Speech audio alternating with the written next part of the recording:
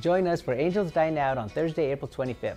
This year, we have a record 40 participating restaurants where each restaurant will donate 25% of their sales to Kitchen Angels. So pick your favorite restaurant and join us for Angels Dine Out.